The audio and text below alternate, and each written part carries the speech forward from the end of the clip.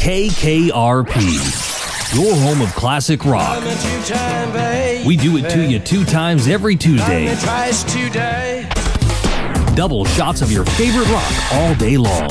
Double Shot Tuesday, exclusively on KKRP AM 1610. KKRP makes you feel good with your favorite classic rock. On Tuesday, we do it twice. It's so nice. Double Shot Tuesday, right here on KKRP, AM 1610. KKRP, Double Shot Tuesday. Are you trying to give me the double talk? We take two songs from one artist and slam them together into a double hit of classic rock bliss all day long. Double shots that really rock on your home for classic rock. KKRP AM 1610.